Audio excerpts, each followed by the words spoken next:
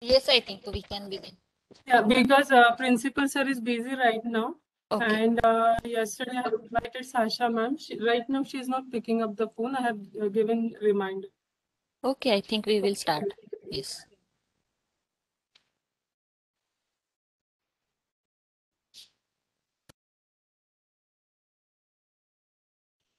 Hello, Mahajan sir. Yes, ma'am. Uh, sir, we will uh, start with the recording also. Yeah, yeah, no problem. I've already started. So you can begin. Yeah.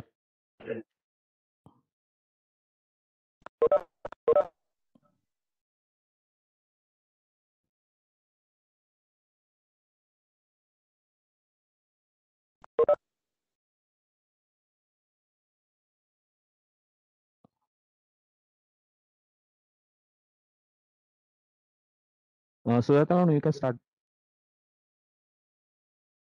I'm good. I'm good to start. Hello, Rutuja, are you there? No. Yeah, you can begin. Okay, ma'am. Okay. A very good and warm welcome to respected teachers and everyone assembled here. I am Rutuja Pawar from T Electrical. Uh, I am Shaknu from T Electrical. I'm Yashudip Kaur from TE Electrical. We welcome you all to this event Coffee and Conversation organized by Alumni Association and Electrical Engineering Department. Now, I kindly request Sujata Paunikar ma'am to formally welcome and introduce our alumnus, Mr. Aniket Thank you, Rutuja. Good morning, everyone. I, Sujata Paudekar, Alumni Coordinator, Electrical Department, welcome you all for today's event, Coffee and Conversation with Alumnus, Mr. Aniket Samel. It gives immense pleasure to welcome Ms. Uh, Sasha Media Head, AISSM Society, all the HODs, faculties, and dear students. Thank you for joining this event. I am profoundly delighted to take this opportunity to introduce and welcome the alumnus speaker. Mr. Aniket Samel is alumnus of the Electrical Engineering Department. He had completed his Bachelor's of Engineering in 2013. He had completed his Master's in 2018 from United States. Mr. Aniket is currently working as an embedded software engineer at Toyota Motors, Texas, US. Dear audience, this coffee and conversation will be joyful ride through some moments of experiences, memories, great passion, and opportunities. We are going to two rounds of the So we welcome our prominent alumnus, former GS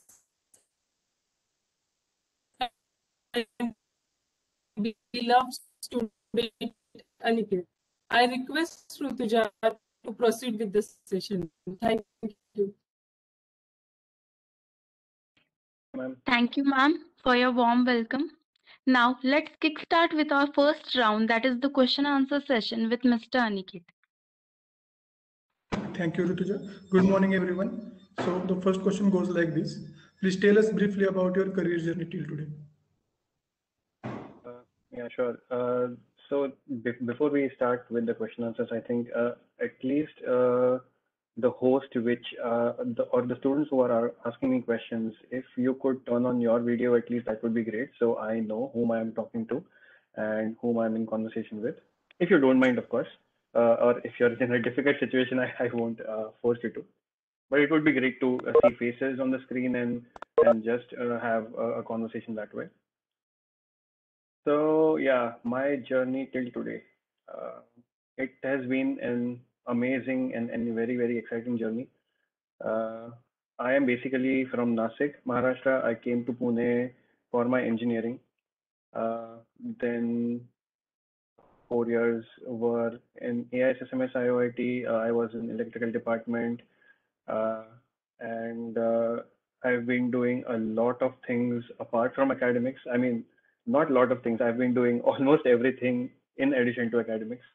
Um, I it, it- it's not that uh, or it was never that I did not love studying or or I did not like it. I always liked studying as well, but I was not too much of a bookish person. So I I wanted to uh, do everything hands-on and wanted to try it out myself. So right from the first year, I was uh, one of the very good students in um, you know the workshop that we have. Uh, welding uh, I, I could do very well. Uh, i remember uh, in my batch i think i was one of the students who did the welding of almost my entire batch because uh, i liked it so much and they did not want to do it. So uh, anything that was hands on i loved it and uh, books obviously gave me uh, the knowledge and the way and the path to study more. But yeah, apart from studying, I participated in sports. Uh, I participated in cultural activities and technical activities. Uh, I participated in uh, intra-department activities, inter-collegiate activities, uh, debates, plays, theater. Uh, in my engineering, uh, in my fourth year, I also got an opportunity to act in a Marathi movie. So everything that I could do, I, I tried to do uh, in, in my engineering, and those were like really, really amazing days. I was uh, in, in my second year, I was a joint GS of electrical department. In my uh, third year and final year, I was a GS of electrical department. And then in my final year, I was also the GS of the college. So got an opportunity to uh, start Alacrity of what it is today. So I was one of the founding members of Alacrity, you can say. Uh, in the initial uh, years, uh, initial first two years, it was known as Alacrity and Zenith. So Alacrity was the cultural part, Zenith was the technical part. Uh, and later on, it, it just became Alacrity.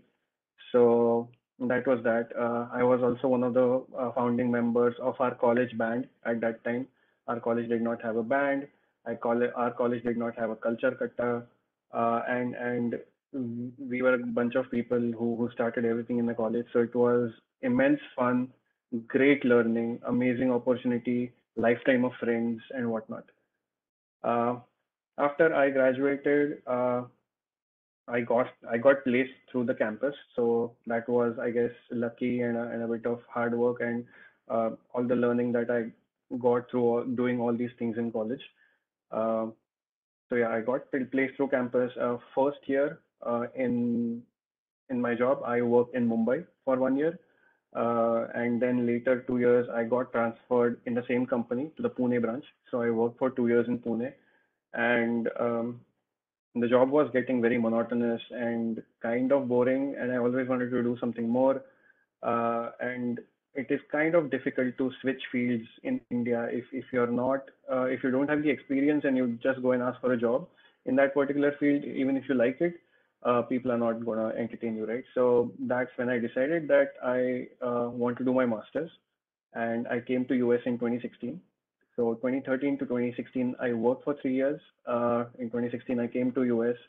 Uh, of course, having an electrical engineering background, uh, I wanted to study power systems here, but I was always very much interested and inclined in cars, uh, as as I think most of the guys are cars and bikes. So that uh, gave me an uh, electrical engineering over here in Michigan Technological University gave me an opportunity to pursue two different directions. Was one was power systems, so half of the credits for my entire MS I took for power systems, half of the credits I took for automotive controls, and I learned subject like uh, automotive control systems, distributed embedded control systems, uh, electrical vehicles one, electrical vehicles two, fuel cells, uh, etc. etc.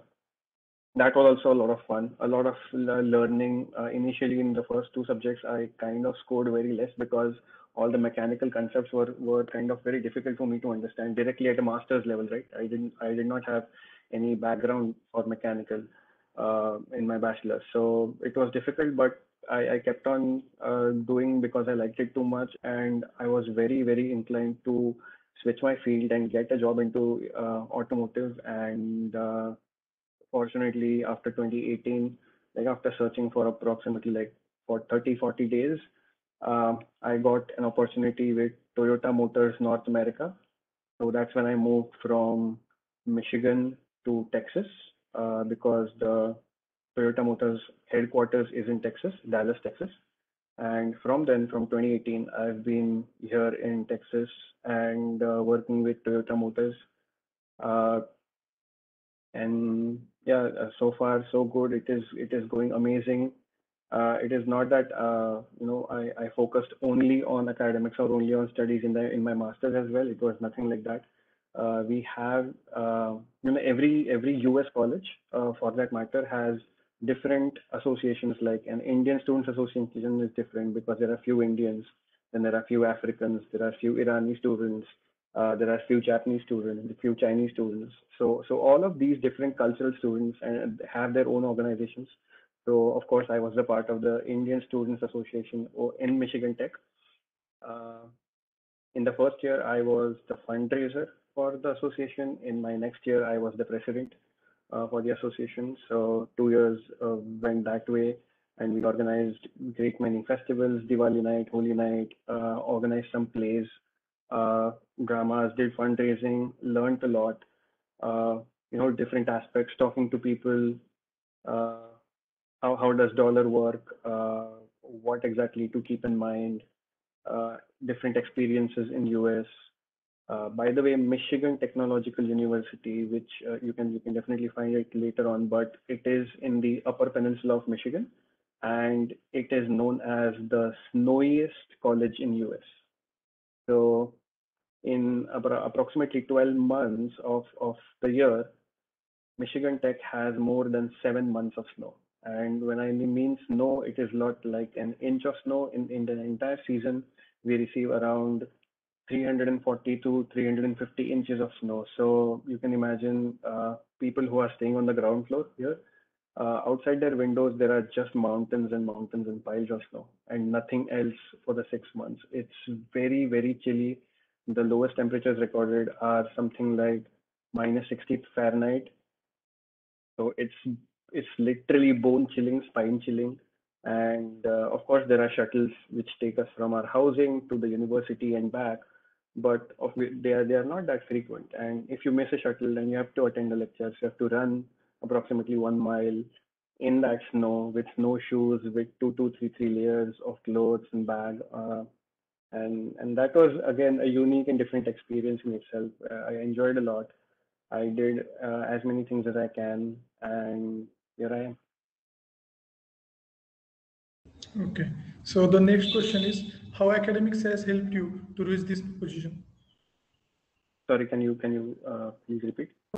Yeah what was the role of academics for you in that to reaching this position uh, academics of course uh, so in my bachelor's uh, of course you also have those subjects control systems one control systems two uh, design of machines was one of my favorite subjects uh, and uh, these three subjects I definitely remember. I will I will never brag about. I I've also had ATKTs. Okay, not a lot, but not very less also. Uh, I have had ATKTs, uh, my share of them, and uh, but but these three were, were some of my favorite subjects, and I never got a KT in them. I really liked them. I uh, studied them well. I pursued them, and uh, those are the subjects, and then the extension of them, which I learned in my masters, uh, really really helped me hone the skill set that I possess today that is used in, in my job at Toyota Motors.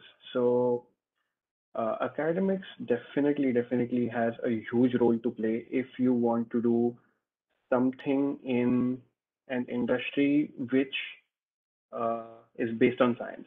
So may that be biotechnological uh, industry, may that be medical devices industry, uh, may that be oil and gas, may that be uh, automotive, of course, may that be power systems, I mean, like the mechanical engineering, uh, making cars, making parts for cars, literally just designing parts for cars, designing the headlight of a car, anything and everything that you might want to do, which is related to science, unless and until you want to go into something like financial engineering or something like that. Uh, academics is something which is definitely, definitely important. And as I said in the beginning, uh, hands-on academics is more important apart from just reading books. So just remembering the drawings or diagrams and, and just remembering uh, how does a flywheel work.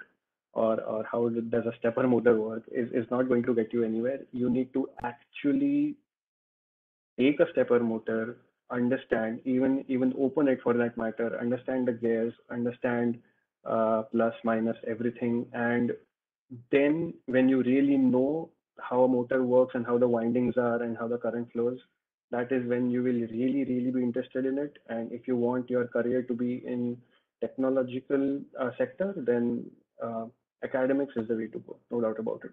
But but hands-on academics, definitely. Yeah.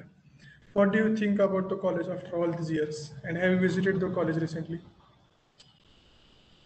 Uh, so I came to US in 2016, and uh, after that I visited India once in 2017 after one and a half years.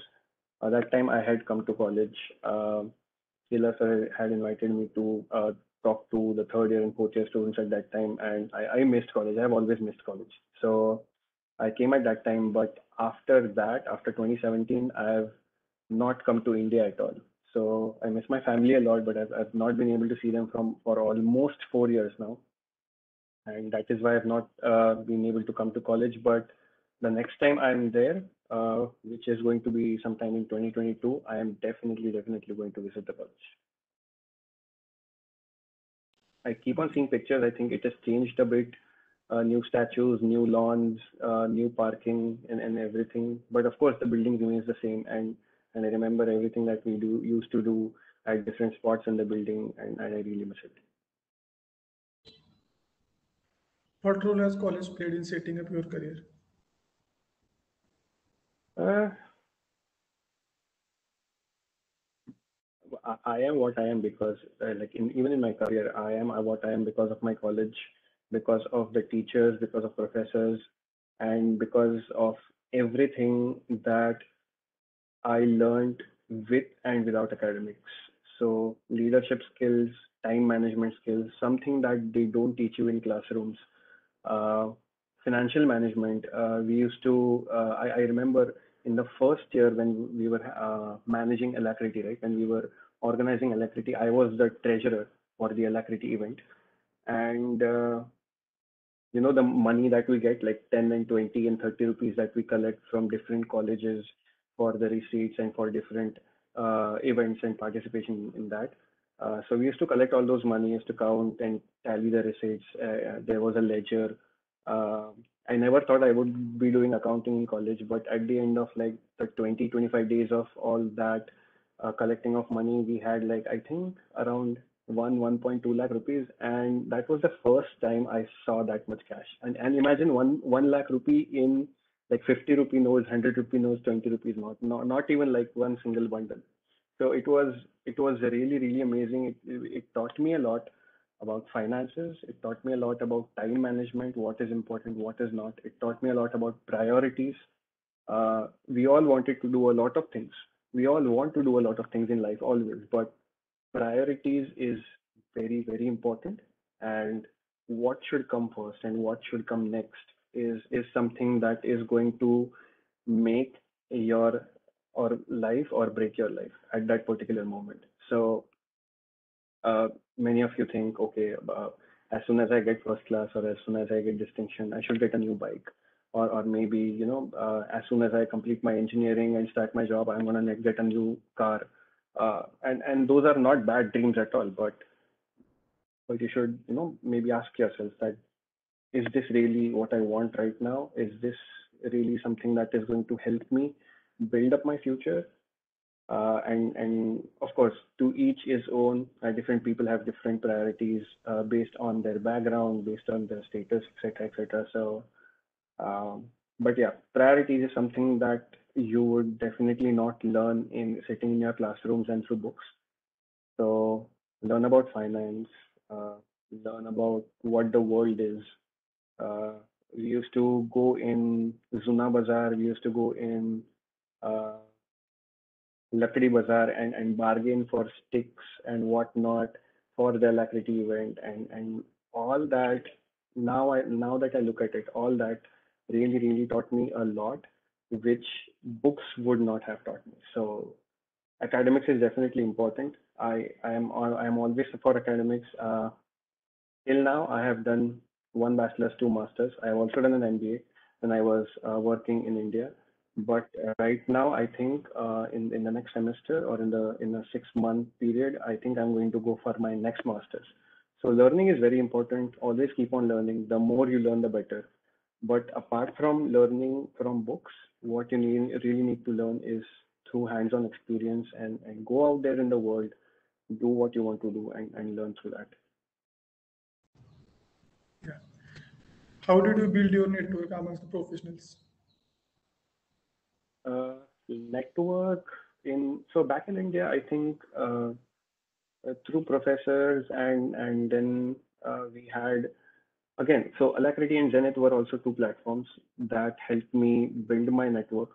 Sometimes it was just a mere fruit seller or a dosa wala or or a samosa wala, but sometimes there were people who who used to run PCB designing workshops or who used to uh, have um, uh, you know component designs who use uh, companies like Manisha Transformers, etc., etc. So, so we uh, wherever we used to go for industrial visits, we used to also target them and uh, try to raise some funds from there for from them for Alacrity and Zenith. And and that is how you you meet people, you talk nicely to them, you tell them that why they are and why their product is going to be important to you and that way you increase your professional network. Uh, after coming into US, uh, of course, LinkedIn is one of the most important platforms that you will ever encounter. Uh, in India, people don't really focus too much on it, but it is really, really important. Uh, you can just send random connections to people also, and it is not like Facebook, and people will definitely, definitely accept your connections. So, for just a general example, right? Uh, when I was working in Toyota, uh, and of course after two years three years you start thinking okay let's let's switch the job. Let's go to a different company. Let's try to you know search more do more. So i want to work in rivian and tesla. So all the people who had tesla in their job description or who had tesla in and, and rivian in their previous experiences, I just used to randomly send them connection requests. And the people who accepted my connection request, I randomly used to start talking to them. Thank you for accepting the connection. So, what do you do? What is your role in your company? Uh, what product or what part of the product do you focus on? And people tell you, people are very happy to share the knowledge. Uh, some of the people may or may not, but most of the people, most of the technical people are very, very happy to share their knowledge. So just send requests on LinkedIn, uh, talk to them about, even if you ask them your career advice or you tell them that, okay, I'm working right now, but I want to get back to studies, what would you suggest? And they will definitely give you their opinion or, or they will definitely tell you what they know or, or what they have heard one of their friends do, one of their colleagues do, and how he was successful, etc., etc. So it's always good to uh, talk to more people, network with more people, uh, know more and more and and that information base that you collect at the end of the day that is what is going to help you in life okay i request Shantanu to continue from here Thank you, Sharif. Uh, uh, how did uh, AI SSMS IIT help you prepare for your career? Um, how did AISSMS help me with my what? Career. With my career i think i already i already answered that uh, yeah uh, AISSMS, I, as i said i am what i am today because of what i learned in my college academic and non-academic so yeah i, I just answered that okay. Uh, which of your personal traits and professional skills helped you the most in your career path or in social life? So, uh, from a skill set perspective, uh, I would definitely, uh, you know, request or suggest everyone this one thing. Uh, a lot of time, electrical engineers, what they think is that, okay, what we are going to do, we're going to do power systems. That means generation, transmission, distribution. That just has to do with maybe relays, voltages, currents, equations, mathematical calculations, and, and that's it. And once we set up the relay settings or once we know what's going to be the sag of that transmission line, etc., etc., we are done. But no, it is not that. When you come to US, you definitely understand that electrical engineering is way more than all of that. So even if you are electrical engineers, I would definitely recommend learn any computer language. Learn C, C++, or learn Python, or learn Java. Uh, it is going to be very, very helpful. Uh, trust me, I had to learn that in my master's because uh, even for automotive controls and even for power systems, we had to use MATLAB a lot. And MATLAB, we had to code everything. And I had to li- like literally start from learning what are the syntaxes that I use in those MATLAB sentences and codes to complete my code. So it took me almost 1.5 times more or twice the, the time that a usual American bachelor student takes to write that code because he has been learning MATLAB right from his first year of his engineering or bachelor's. So learn coding. Don't think that electrical engineers do not require coding. It is really, really important if at all you want to pursue and career into something like that.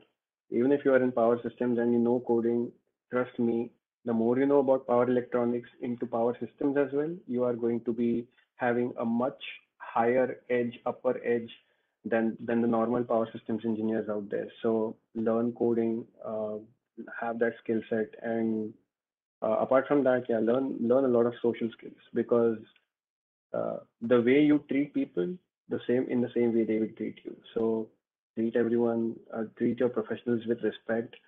Uh, try to ask them a lot of questions, uh, technical, non-technical. They will definitely give you good advices and at, at, after a certain point you can make out what is a good advice what is a bad advice uh, and and just take it from there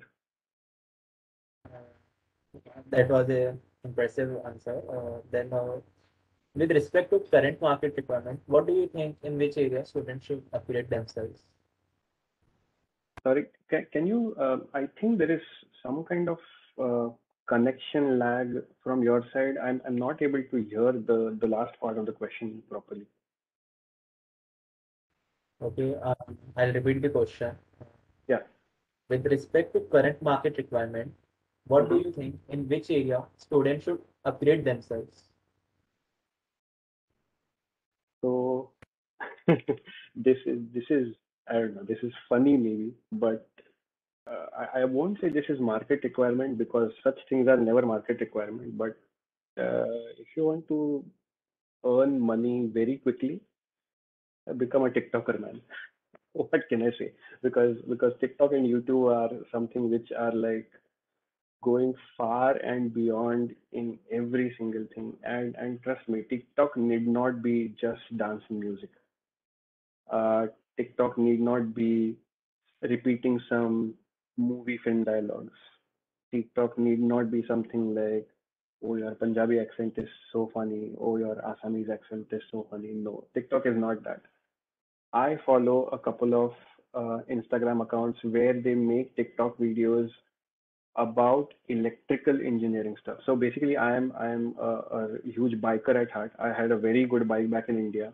I had a um, KTM RC200 and right now, just a couple of months back, I got one of my dream bikes, which I had already also seen in India. So right now I have a Kawasaki Z1000. It's a 1000cc bike and I love riding it.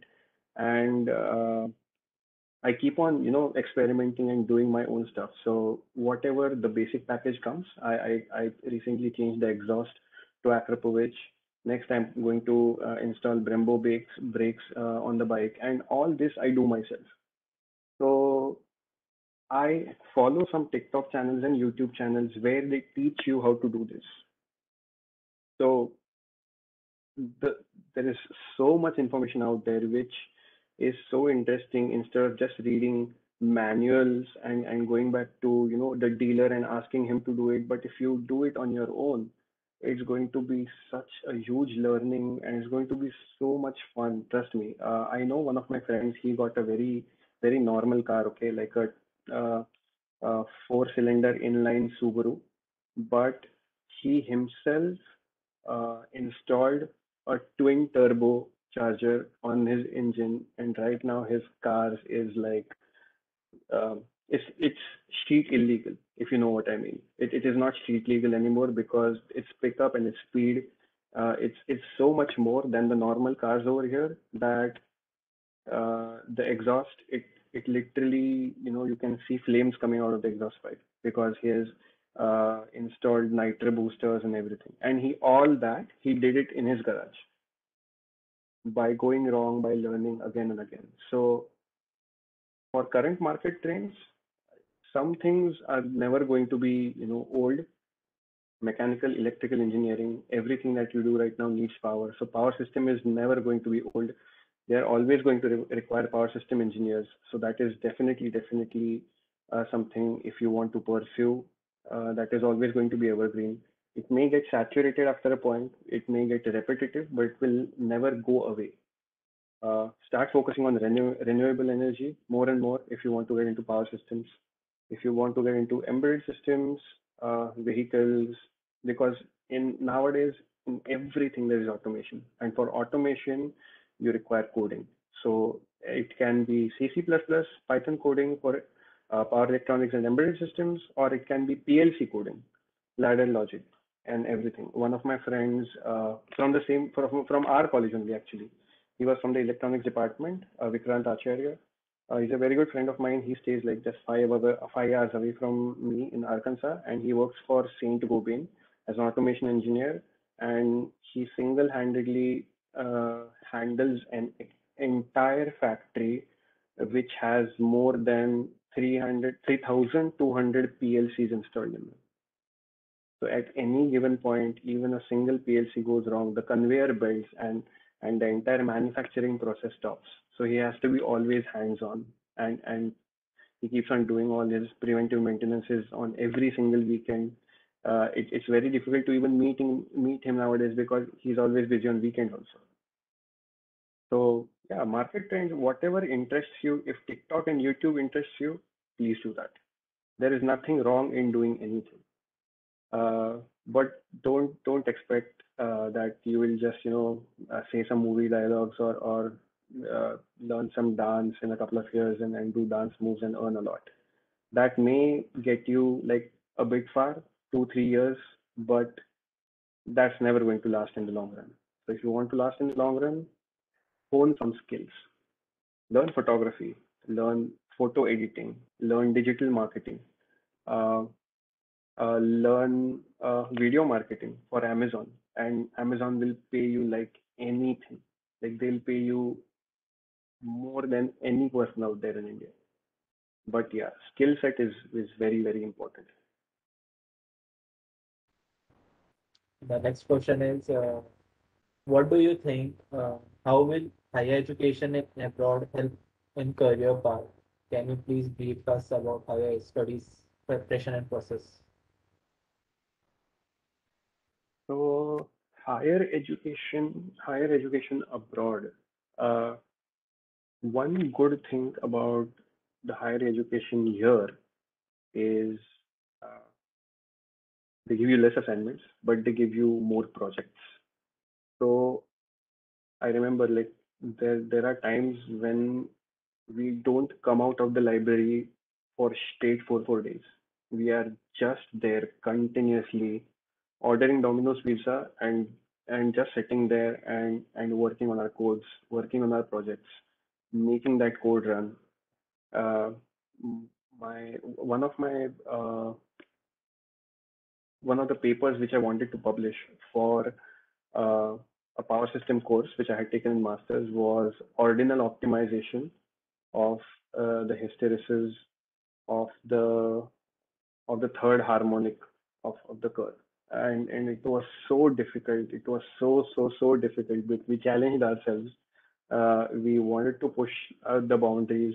Even the professors actually they, they told us that you should not have chosen chosen this because there are people in caltech uh, still working on this and and no one knows the answer. But we just wanted to you know try our luck. And of course we could not finish it. It was it was very very difficult. But we finished like i think one third part of it. And whatever we finished and we presented, the professors were so happy, and we were so happy with ourselves. So, uh, one good thing about higher education in US is you get to learn a lot of things practically. You directly get to talk with industry experts. Uh, so career fairs in India and career fairs in US are very different. Uh, career fairs in US are like basically uh, you guys are going to Mela, right? Like even if it's a food Mela or even if it's uh, like a normal Mela. In Mela, what you do, you go to a particular stall and you play the game, or you go to a particular shop and you and you eat the food. So similarly, in US, you stand in line and there is a Cummins stall, there is a Lido stall, there is Black and Veatch stall, there is a Tesla stall, there is Rivian stall, all these different automotive companies, electrical companies, automation companies, uh, uh, chemical engineering companies, biomedical engineering companies. You go to their stalls and they invite you, like they are actually they're handing out pamphlets about their company. They want to hire you. All you have to do is crack your first impression on that stall. Then they give you a time for an on-site interview. Uh, sorry, uh, for on-campus interview the next day. And if you're selected in the on-campus interview, then they give you a third on-site interview where they check all your technical skills. Are you a good team player or not? How are you good with deadlines? Uh, how are you with your, uh, how strong are you uh, with your technical skills? Are you a subject matter expert in what they require? So in India, it's completely different, right? In India, it's, it's a written exam. Uh, maybe now things have changed. I, in the last five years, I don't know much about it, but a written exam and we always focus on, focus on technical skills, but here it is not that way. Uh, I remember I got rejected in an on-site interview. Usually that never happens, okay? And I'm very kind of embarrassed to say this story also, but uh, I got rejected in an on-site interview just because they were discussing a bit about cats and dogs, and I did not have have any information to you know contribute to that topic. So I just was sitting there on the table listening to them, and uh, at the end, end of the day, they just figured figured that you know on Fridays if we take this guy to drink a beer, he's going to be a he's going to be a boring person. He's not going to be a team player. So even if I passed my technical round, they still did not hire me because they found me to be a person who does not involve himself in conversations. Whereas in general, I talk a lot, as you can see. But but there was a, a topic which I did not know anything about, and I did not talk, so I did not get selected. So the skill set requirement here and in India is kind of very different. So that's something good that to, you get to learn here. And then uh, like everything is very easily accessible here. That's that's one good thing. There's a public li library just one minute, one two minutes walking from my house. You can just open a card for free and you can get any single book in the entire world that you want. If you don't, if they don't have it over there, you just have to write your name and the name of the book you want, and they will get it for you within five to seven business days. That's their commitment. And it's a free library, imagine. So they spend money on getting that book to you just because you want to read it. So, so accessibility is way much more in US or in Germany for that matter, in Canada as compared to that in India. That's that's what I think. So that's why I think this experience uh, teaches you a lot of things in a different way. And of course, like if I would have come here for bachelor's, I would have been a different person. Something like that. Uh, to say about this? Uh, it's really nice. Uh, then uh, we, uh, we all know that you are an active alumnus of our college from electrical department, but we would like to hear from uh, you about this. Sorry, you would like to hear what? Uh, we all know that you are an active alumnus of our college, but we would like to hear from you all about. So, active alumnus. Uh, I mean, I, I keep on talking to Sheila sir every now and then. We have a lot of different discussions. Uh, he uh, tells me things about what's going on in the department, what's going on in the education sector, and industrial visits and guest lectures, etc., etc. And it's it's really fun to hear that. Uh, but as I said, I've, I've not been able to even visit India or visit my home for for the last four years. So I am maybe not that active as much as I would have liked to be. Uh, but definitely in the future, whenever I, I uh, visit India, visit India next, uh, I will definitely make it a point to visit college, and, and then onwards, I'll, I'll definitely be more active than I am right now. Okay, uh, now I'll hand over the Q&A session to Rutuja. Rutuja, continue.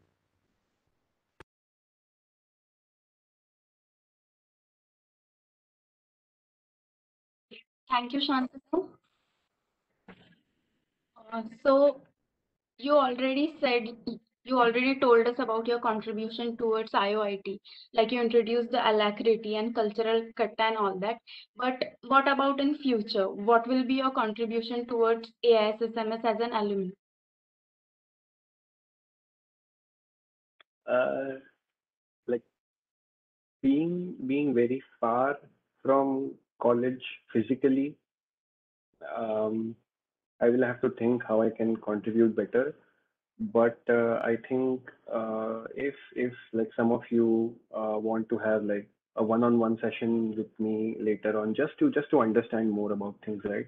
Uh, it may that be a student of any department. I, it does not matter. It does not need to be only electrical department. I can I can definitely make time like uh, one hour or two hours in a couple of weeks and maybe uh, counsel students if they want to do MS in US, I can guide them. Uh, even if they want to pursue a, a different career path than what they are learning right now, I can uh, put some light on that. Uh, that can be done as, a, as an active alumnus. Uh, I would, I, if I was there in uh, Pune or if I was there in India, I would have definitely visited college more and maybe even you know started workshops or lecture series or something like that and uh, done more. But uh, for now, I, I'm I'll have to think what what else I can do as as actively as I can. So would you like to enlighten the students About about anything about this field, about future studies? Sure, sure, sure, sure. Um, uh, I, um, as I said, like be good at something. That that's that's the bottom line. Be be good at anything you want. It, it's not necessarily that okay, you 60, 70, 80 students are electrical engineers, so you all have to go and enroll into Reliance Power or go and work into MSEB only. No, it is not like that at all. You know, in India, uh, usually they say that people do engineering to actually figure out what they want to do in life. But that should not be the case ideally. Uh, you should uh, by by the time you reach your 10 12 standard or maybe do your three year bachelor's degree uh, you should be able to you know think straight and figure out what is your liking and focus on that. Even if even if you like for example if you like dance dance there is no one and nothing that can stop you because i know a person uh, he is the he is the elder brother of uh, one of my classmates, which was in bachelor's. So Sai Prasad Dulal, he was my classmate in in bachelor's electrical engineering, and his elder brother.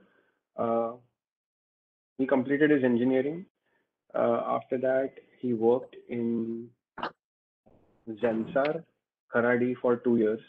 After that, he opened his own company and he started getting uh, software projects from clients in US and UK. And uh, while doing that, he moved to US and eventually to Canada. And can in when he moved to US and Canada, he uh, just joined a dance dance group. Like he wanted to learn salsa and bachata, and now he he just goes with his salsa group, tours the world and dances and earns money through that. So just just know what you really like and focus on that work hard there is there is no alternative to work hard working hard guys there is no alternative मेहनत ही सब कुछ है but you can work hard in anything. You can work hard in, in personality development. You can work hard on academics. You can work hard on speaking very well. Uh, and and yeah, Okay. So now let's talk about current situation. Like, what do you think about this pandemic and situation in IT sector? Like, work from home is suitable or hectic according to you?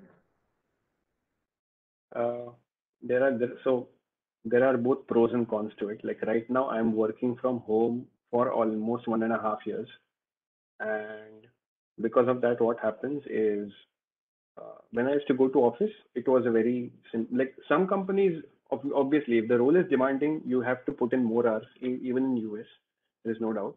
But in my company, there was a very specific timeline of the entire project.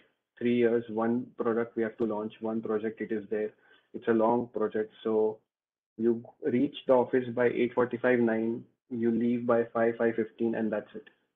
No one emails you after that because people really respect your privacy and your personal time as well. So no one emails you, no one calls you, etc., etc. But now what has happened is, uh, I know my office or or my stand-up call is at nine o'clock, but I still have to be in front of my laptop at 7:45, 8 because because I start getting messages of people who want something from me. Uh, because I work in Toyota, so sometimes we have calls from Japan also, which is like the parent Toyota company, Toyota Motor Corporation. So they those guys get up way early in their day, and we have to like stay late in our business day to have meetings and calls with them. So even if my office ideally uh, needs to end at five, it goes on until 7:30, 8:30, 9. Uh, and it is it gets really really hectic. So uh, because our managers and everyone thinks that you know you are sitting in the comfort of your home so what else you have got to do? You can work more. So the work times has def- have definitely increased. They are not 8 hours anymore.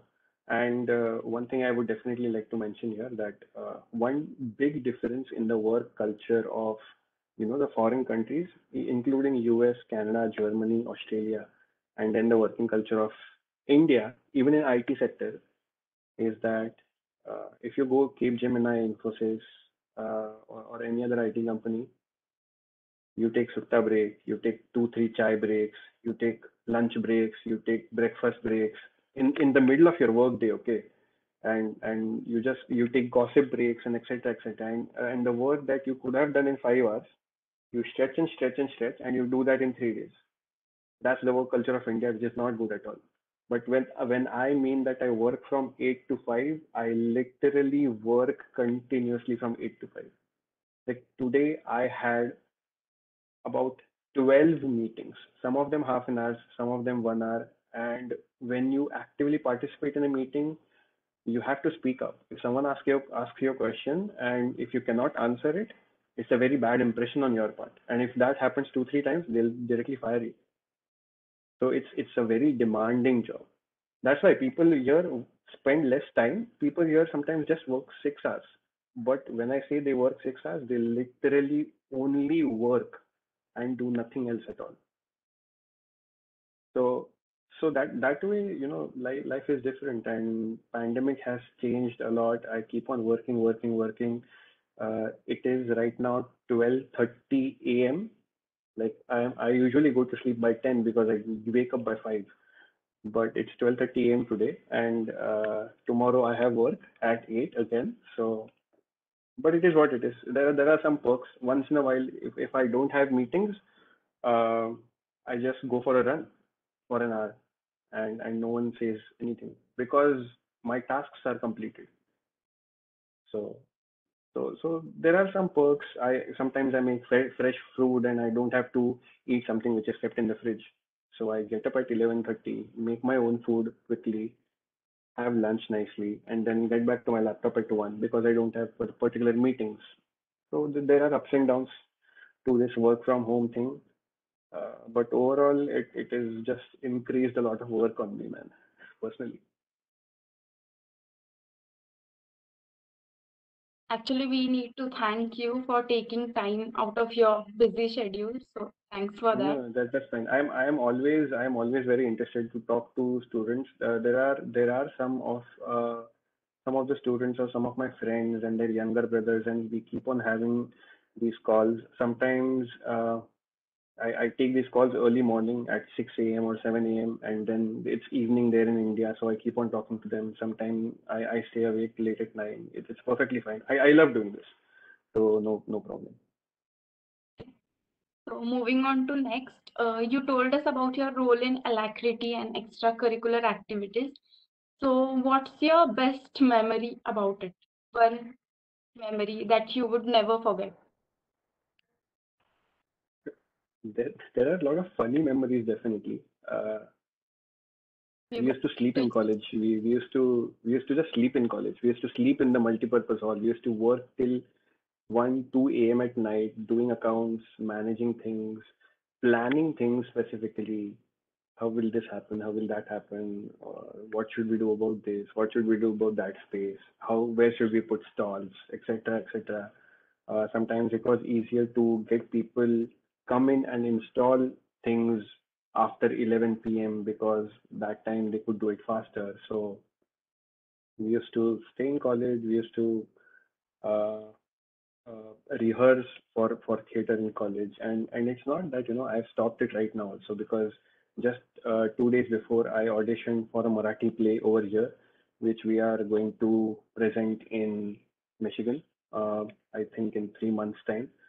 So uh, and, they've selected me uh, as an actor. So I don't know. Uh, the scripting and all will start now. So whatever I used to do back in Pune, things that I've always liked, uh, Marathi theater, poetry, uh, in addition to academics, of course, I, I do it here as well. Uh, and it's and it's, I, I miss all the all the things in college that I do. I really miss them. I, I miss my friend circle a lot. I make I miss sitting on the steps and eating auntie ke hath ki khichdi and pohe and all that. So last question from my side. Uh, how was your experience while doing final year project? Uh, it was it was very dramatic for for some of us. I will I will definitely say this. Uh, we were we were actually some of the lucky ones to have uh, gotten an opportunity to work with uh, a company known as Bhasha Technologies, and they had sponsored our project. And uh, the the owners of Bhasha Technologies were like really brilliant people, very very knowledgeable and everything. Uh, but I think the projects were kind of very difficult, so we could not complete them during the entire year and just at the last moment, as in uh, two months before the finals, we had to completely change our project. And then me and my project partner, we did something else, and there was other group also. They also did some other projects, but uh, it was it was a lot of learning, I will say, and and we learned the importance of time and and starting things on time so that we could end them on time. But our projects at the end went very well I think I have uh, in my batch I have uh, second highest marks in in project at least because my project went very very well. We worked very hard in the last two months, and we got that uh, robot that we made working, and it did exactly what it was supposed to do in front of the external examiner, and we are very thankful for that. So it was it was a fun project, man.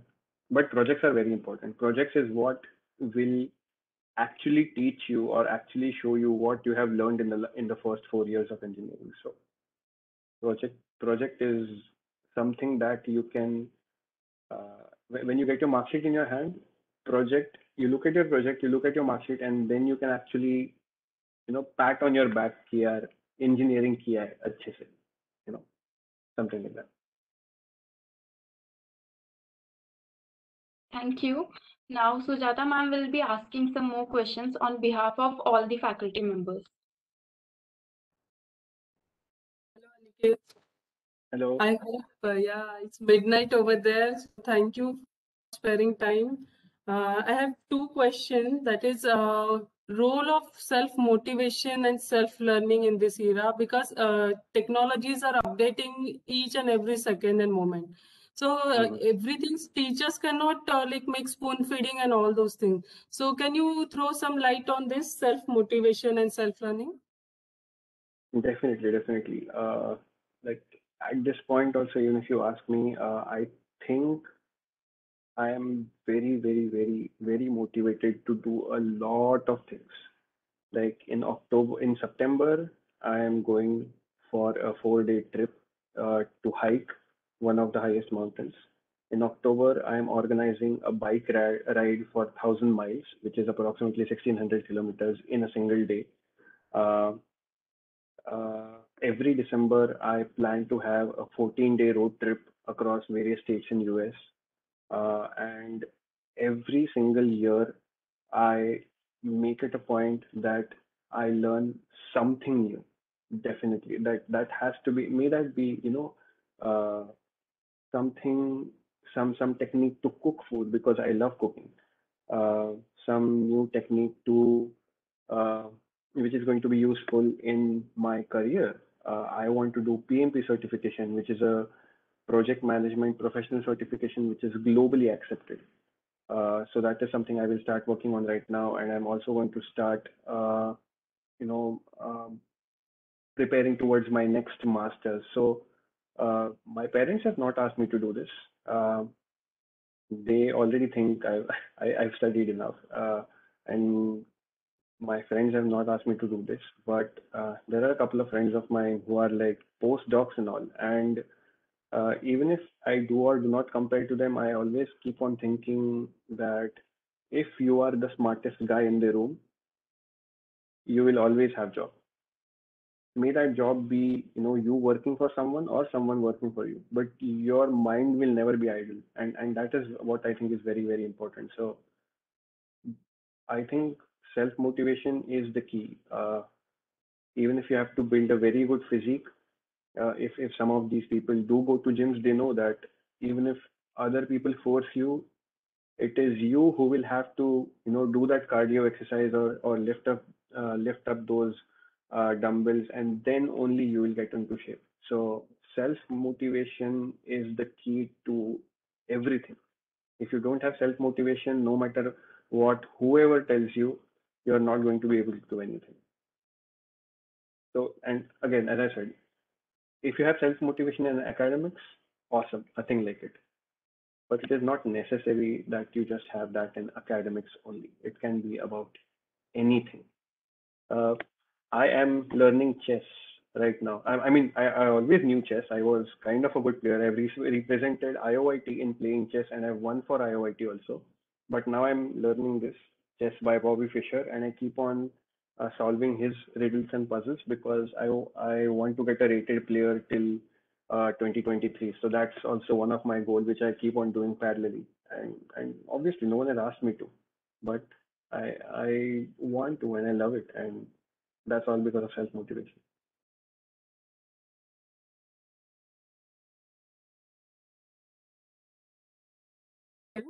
Uh, Rutuja, you can proceed with the second round. Thank you, ma'am. So now let's just lighter the mood. So as the adage goes, all work and no play makes Jack a dull boy. So we Mhm. have also included a rapid fire round for our guests. So I request Mr. Aniket to get ready for some rapid questions. Cool, cool. First, three things which you missed in college life. Okay. Uh, I miss not having a girlfriend in college life. Uh, I missed getting a distinction ever. I, I never got a distinction. Uh, it's embarrassing, but yeah, I, I do miss that. I think at least for one semester, if I would have got it, would have been amazing. And third thing is, uh, there is there is there is no other thing. I, I did as much as I could, and, and and I did not miss out on anything. But yeah, these two things I I did miss out on. Teachers which you admire the most? Uh, there are there are all the teachers like uh, I'm and I'm not uh, you know trying to be diplomatic at all. Um all the teachers have definitely tried to teach me what they were best at, and I, I tried to learn from all of them. But yeah, my most two favorite teachers are SM Chowdhury and Sheila sir. And and hats off to them. It is what we are today because of them. What are the domains or skills students should explore on their own? coding coding finances never let go of these because there is not a single person out there who is going to sit you down on a chair and teach you these things money management is one of the most important skills that you should acquire right from when you are a child open a bank account when you are in 8th standard ask your friend to do it for his younger sister. You do it for your younger sister and brother and ask them to write a check, deposit a check, fill out a bank slip. Uh, ex- ex- sorry, explain to them what is stock market. Explain to them what is cryptocurrency. You learn about cryptocurrency. No one teaches you financial management, and trust me, by the time you learn it, it is already very late. So, investment financial management are the most important skills that everyone should learn. Even if you are an engineer or not an engineer, it does not matter. Three subjects which you studied the best Uh, I loved uh, engineering drawing. I got one of the highest marks in engineering drawing. I, I'm I'm very good at, at drawing. I always love to do painting, sketches, drawings. So engineering drawing, uh, I loved uh, them, design of machines. I loved it, and control systems. So on a scale of 1 to 10, how excited you are about your life right now? I am 100. Like, like literally right now, I am at 100 because I want to do so many things and I keep on thinking that, yaar, kitna kam time hai yaar. Like, I sometimes I think like 24 hours are less because I really, really want to do so many things parallelly and then I really don't get time to do them. So I, I'm very excited. I'm always full of life. I'm always very excited about life. Last book you read? Like novel and all. Uh, kind of book. last book last book outside of okay. I think i have it here or maybe i've given it to my friend. But uh, right now i'm reading two books from shashi tharoor. One i've given to my friend uh, that was i think uh, an inglorious empire. That was by shashi tharoor. The second book is this by again shashi tharoor an era of darkness and the third book is again by Shashi Tharoor, uh, Why I Am a Hindu. So I, I, I, I like to read uh, on different topics, different subjects, uh, and I don't like I've given up on reading on fiction. I've, I've come out of that era of Chetan Bhagat and, and, and stupid people writing stupid stupid love stories about teenagers. Uh, I'm I'm more into history, financial knowledge, investment, banking, uh, of course, technical stuff. Uh, and I'm also doing my PMP preparation. So that's one of the books. And chess, of course. What was the first lie to family because of college life? Uh, I'm, I'm going to say this in Marathi uh, because I think that way it will be more genuine and, and funny, maybe. But uh, whenever my, my mom or my dad used to ask me, Aniket अभ्यास करतोयस ना हो आई करतोय का by खूप अभ्यास करतोय मी तू काही काळजी करू नको which was which was definitely a lie i was not studying as much as i should have but uh, it is what it is What is your priority? Knowledge or money? knowledge absolutely no doubt about it because with knowledge only you can earn money. Even if you have money, with knowledge only you can double it, or else you lose all the money. That's why I'm saying, like, even if you have a skill set or not, you should definitely, definitely learn about financial management. Absolute knowledge, always. Most memorable movement of college life.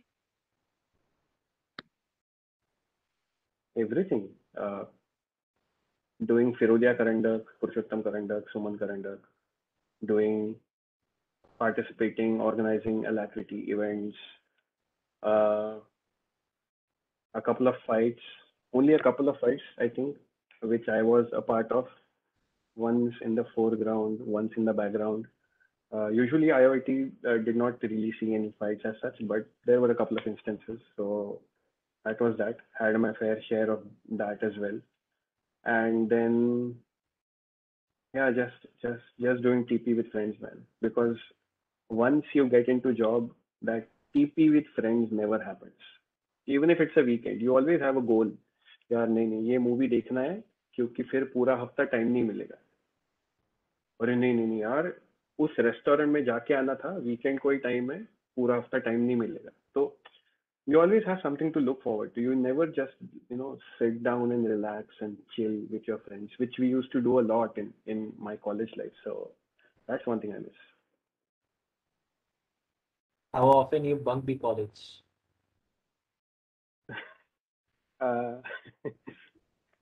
so there are there are two parts to it. Okay, I've I've never bunked college, as in I've never uh, bunked college and then went out on trips to Mulshi, Lonavala, Khandala, this that place. Never, never. But but I was always in college. But yes, I've bunked a lot of lectures and a lot of lectures of for, for all this you know organizing events and this and that only nothing nothing just time pass wise but yeah. I, i've never bunked college but i've bunked a lot of like more more than 60% of lectures i've bunked. I'm not very proud to say it but i'm just saying like i'm not saying you should do it. Or if even if you're doing it do it for a good reason man. That's it. So what was the, what was your first reaction when teachers would ask you for assignments or submissions? Any reaction, okay? Uh, So, so except for Shingare sir's assignment, I don't think uh, any other assignment was ever incomplete from my side. I, I always did all my assignments on time, so I was ne- never really you know scared about them. But but Shingare sir's assignments were too lengthy and and they were just too lengthy, man. I, did- no one could finish it on time, so uh, we were just scared if if he would cut our practical marks or something like that or, or delay our submissions or whatever. Uh, what was your favorite place in the college? Steps, steps in front of the college, and and and also the OAT, as in back steps or front steps. But yeah, those that's like we used to just sit there and and do everything, eat tiffin, plan things, fight, uh, do mimicry of each other, uh, do assignments there sometimes. Steps, I I miss those those steps, man.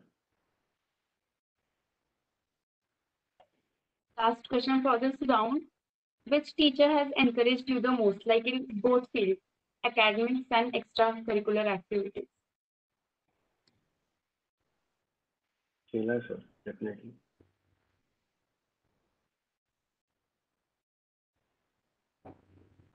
Thanks, sir, for sharing your memories with us. We feel really blessed. Now, I'll request everyone to please be free and ask anything you're curious about to Mr. Aniket.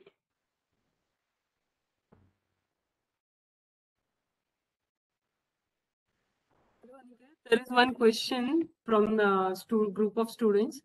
Uh, we are a group of students who are looking for higher education. Can you help us? How can we connect with you? Uh, you can always find me on LinkedIn. Uh, my full name is Aniket Samel, A N I K E T S A M E L. Uh, you can connect to me there and you can ask me questions. Uh, there have been students who have uh, sent me friend request on Facebook, but uh, Facebook I think is is more of a friends kind of thing. I think so. Usually I don't accept requests of the people I don't know. But uh, as I said, LinkedIn is a different platform. LinkedIn is for networking for professionals. So if you definitely want to ask me questions or uh, even you know, uh, I can I can once you connect with me on LinkedIn, I can also share my phone number and then we can talk on WhatsApp also. That's that's fine. You can call me then. Hello. Yes. Uh, yeah. So I saw your LinkedIn and your uh, like it's written over there that navigating fiercely towards uh, autonomy. Like Correct. the story behind it? So uh, there is there is no story as such, but uh, the thing is, uh, so right now I I don't know uh, how many people uh, or or how many of your parents or or whosoever like own really really good cars like high end cars. I don't know that, but uh, this features uh, are like started coming in India, I think from 2018 or 2019 onwards. So if we, everyone, so everyone knows the dashboard of a car, right?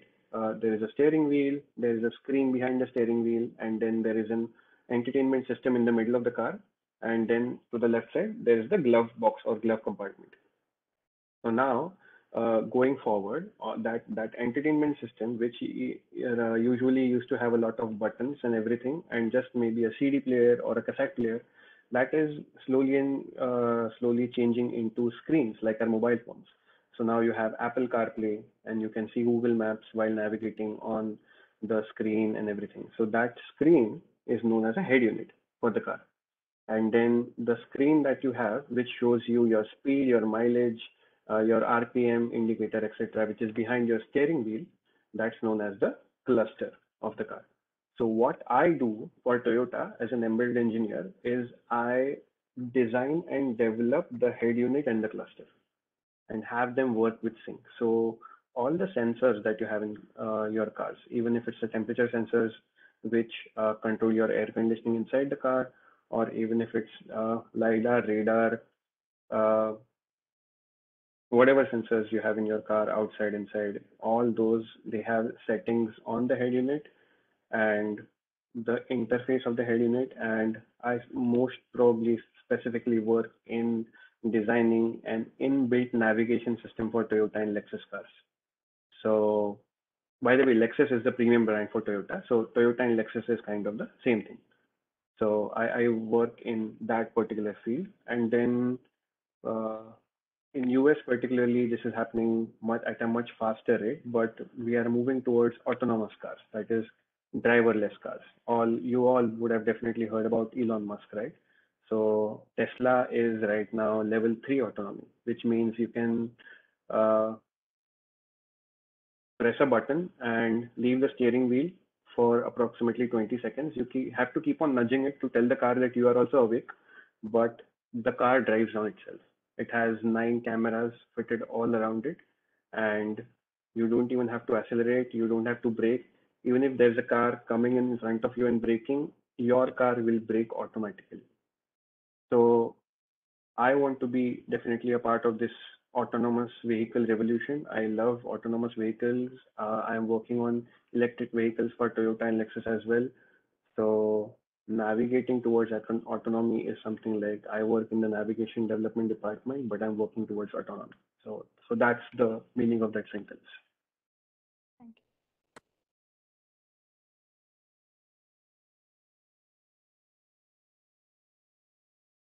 Anyone else? Uh, my question is, uh, you, uh, you, uh, you told us earlier that you got plans uh, in next coming months and you got uh, co-curri- co-curricular activities like dramas and you have your working schedule. So how you manage your time and work and these outings? Uh, how I manage? Uh,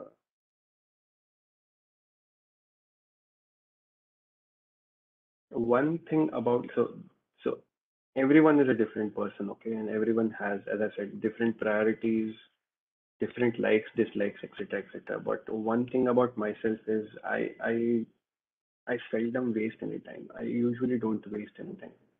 Like I, I don't like keep on scrolling on Instagram continuously or Facebook or keep on watching the same movies again and again. I, I'm a big fanatic of movies. I keep on watching new new movies, but then uh, that's a that's a part of my entertainment. But I'm always doing something. Like either I'm either reading or even if, as I said, I, even if I'm on Instagram, I'll uh, I'll keep on learning about oh this computer hack, oh that computer hack, oh if you know uh, if you invest this much money in this much uh, uh, in in those shares and if you keep them for five years then what will happen? Then i'll go and study about those shares that marketing scheme that financial scheme. I'll i'll see into what is a 401k account which company is vanguard uh, and uh, roth and schwab and who all can help me reach my financial goals so I'll, I'll always keep on doing something or the other even if i'm on instagram so i I I just keep on doing stuff continuously, like throughout the day. So I, I seldom waste any time. So that, that's how I manage. And I love traveling. Like, uh, I don't know whether you can see it right now. Mm, Let me see if I can maybe switch my camera for a second. Uh, I don't know how to do it on WebEx. Give me one second.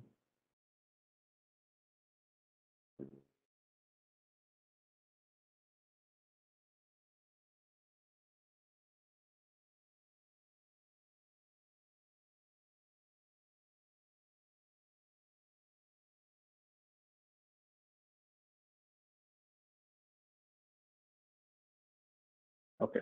Yeah, so this is my dual camera. Anyway, uh, can you guys see this map? Yes. Yeah, okay. So this is the map of US, right? And uh, uh, forget what I've put into it, like this this bead thing. This is uh, some uh, souvenir that I've got uh, gotten from a festival that I went to. But uh, can you see these red lines on these maps? Uh, So yeah. that uh, that yeah that that red sketch pen lines basically are all the road trips that I've taken. So Sometimes I maybe just you know fly somewhere, meet a couple of friends, see that place and come back. So that's not exactly a road trip, but all these red lines basically indicate the road trip that I've taken to that particular state and everything.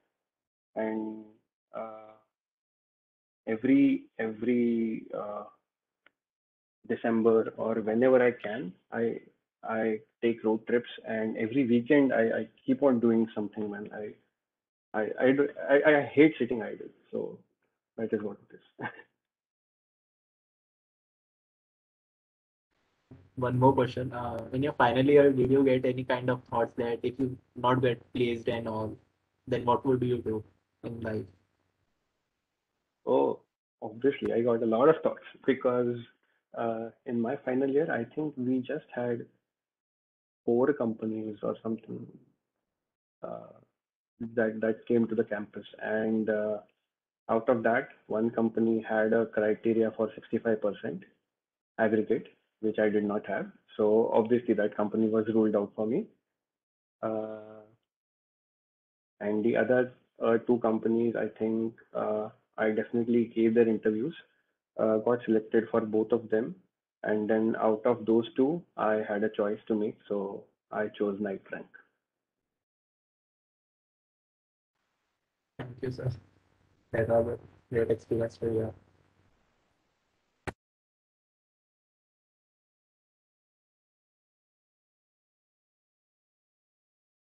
Any more questions? Uh, yeah, so can you just uh, means give some information about the visas? Means uh, what is the condition of OPT as well as after that, how many people get selected for H1B visa? H1B visa lottery is pure luck. Like there is not even any computer-based algorithm. It's literally lottery. Like there are 4 lakh applications, approximately 4 lakh to 4.5 lakh applications for H1B, which is work visa every year. And out of that, uh, 1.6 lakh applications randomly get picked and selected. And if you get picked, you're lucky. If you don't get picked, you wait for your next chance. And there are three chances. And sir, what if we don't get the visa even after three chances? And what is the other option? So again, let's see. If you don't get uh, H-1B visa after three chances also, then um, there are multiple options. One, you go back to India and do something else, which obviously we don't want to do because we have spent a lot, we have put a lot of effort to come to US and learn something else. So obviously no one wants to go back to India. Uh, most of the people choose the Canada route. So they apply for Canadian or Canadian permanent residency, which is known as PR. They apply for that. There is a point-based system, and based on that point-based system, again, uh, there is a lottery. So every three months or every six months, there is this lottery system which is picked, and uh, you are going to be uh, picked for sure. But uh, it may be not immediately, but in the next lottery. So uh, it's it's like you get into a line uh, for Canadian Canadian PR, and then whenever you are picked, you submit the paperwork, and once you get the PR, then you move to Canada and stay there for three years and try to become their citizen. So Canada is one of the options. Uh, uh, going back to India, of course, is, is the option, but that is not what we want. Another interesting option is uh, finding, uh, so when you're on your OPT itself in US, finding a company over here, which is like a global company. So there are recruiters also, which uh, are global recruiters. So right now I have some of my friends working in Toyota under that recruiter.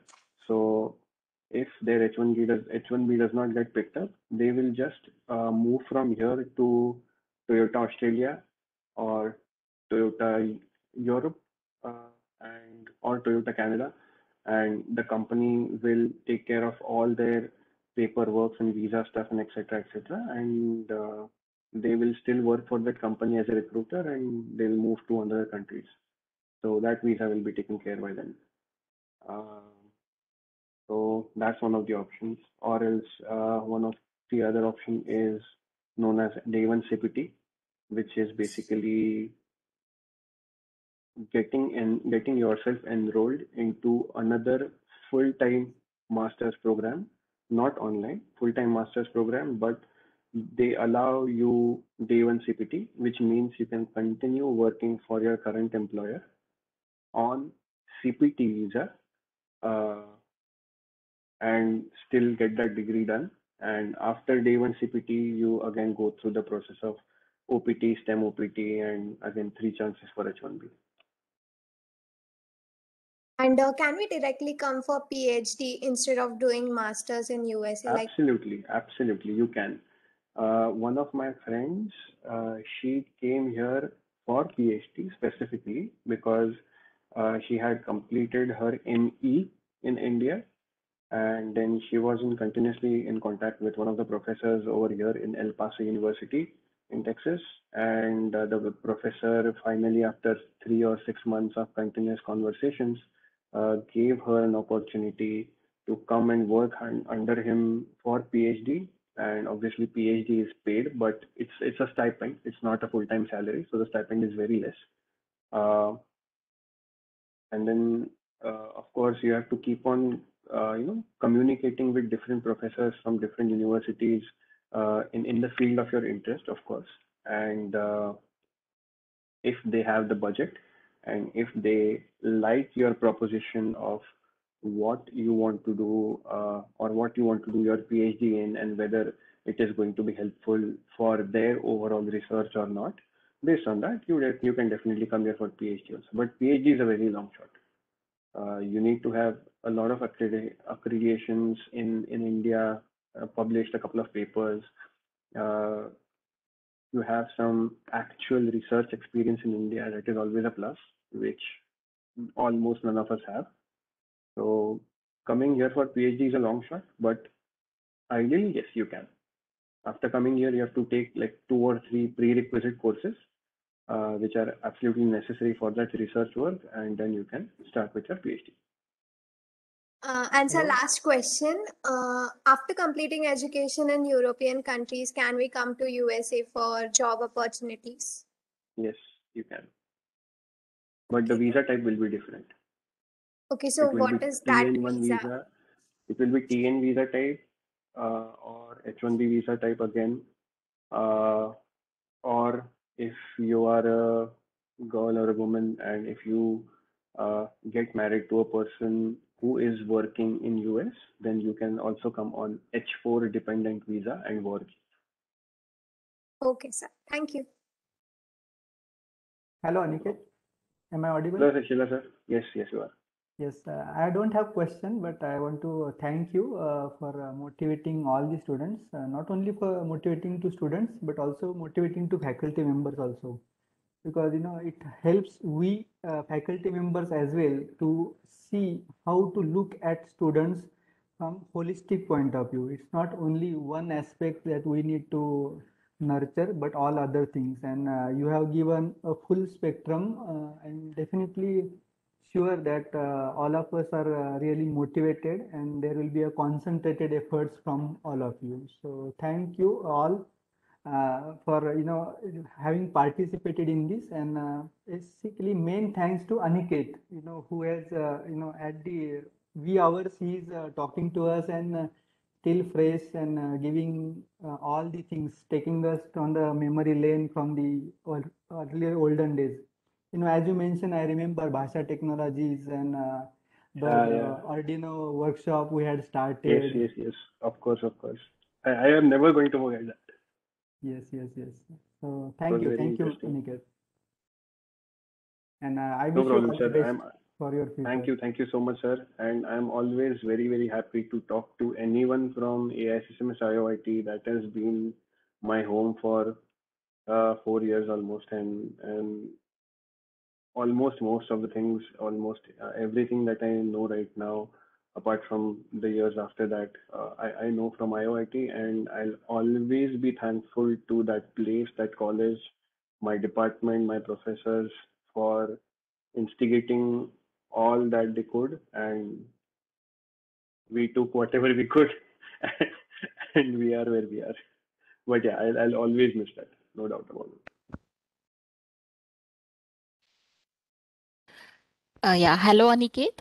Uh, I am Hello. Meenal Zope. Uh, I'm a alumni co uh, in charge of AIS SMS IOIT. Mhm. Uh, Yeah, I I must say you have uh, amazing journey from the college life till now, and and always you are experiment experimental person, as uh, I have heard you from last one and a half hour. So yes, and uh, yes, uh, thank you, thank you, Aniket, for giving uh, practical knowledge about life, and which is always important for uh, the students, for us, for everyone, rather than only having the bookish knowledge. Thank you. And yeah, No thank you. problem. Thank you for giving time for your alma mater and your guidance No to the problem, no stu students and sharing your experiments with bike and all. Yes, I, I love that and uh, I like that. So thank you. Thank you, Thank you. Thank you so much. It, Yes. it was, I am very glad to have this conversation with all of you. And I request uh, actually uh, in future also uh, you will help us as alumni uh, in every aspects uh, for grooming our students. Definitely, definitely. I will, I will always be available for, for such kind of sessions or anything else. If you have in mind and we can do it online, uh, I, I would love to help. Thank you. Thank you, Such- sir. Thank you, Zope madam. Yeah. Uh, Aniket, it was a really great session, and I hope as a being a voyager, you have traveled down the memory lane, right? Uh, Yeah, yeah, thank you. Definitely. Yeah. Um, yeah. I, Sujata Pavnikar, on behalf of Alumni Association AISSMS IOIT, regard this as an honor and great privilege to propose a vote of thanks. I extend a very hearty vote of thanks to Mr. Aniket for delivering inspiring motivational talk, and I am sure students present here will have lot to take away from the knowledge sharing session. Insights provided by you will help our students to upgrade their skills and excel in their career. Thank you for talking, uh, taking out time from your busy schedule and despite of the different time zone, like right now there is al almost one o'clock at night and you are still there for our, uh, your alma mater. I would like to express my heartfelt gratitude to all the members of AISSMS management, media team, Principal Dr. P.B. Mane, to provide wonderful platform to get connected with our alumni through this enlightening session. I would like to thank Sasha Madam, Dr. A.D. Shirakar, Head of the Electrical Department, Mrs. Meenal Zope, Alumni Coordinator AISSMS IOIT, for constant support and motivation. I thank all the alumni committee members, faculties, volunteers for their enormous cooperation in organizing this event. Last but not the least, I thank all the students for showing their interest, sparing their time, and making this event successful. Once again, thank you everyone. I request everyone to switch on their video for a group photograph. Absolutely. I, I would love to see everyone's faces. These ones.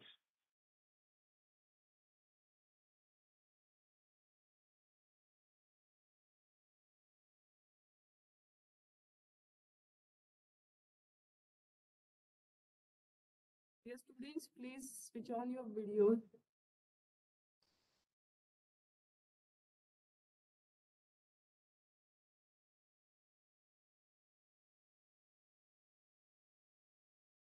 Okay, thank you, Aniket. Thank you. Thank you so much, ma'am. Yeah, yeah, thanks a lot. So here I will conclude the session. Yeah. Thank, Thank you so much. And it was nice talking to all of you. And um, if we have some similar session again, uh, I would I would love to join. No problem. Have a good day to all of you, and uh, I will talk to you later. Bye bye. Thank you. Good night. Good night. Bye bye.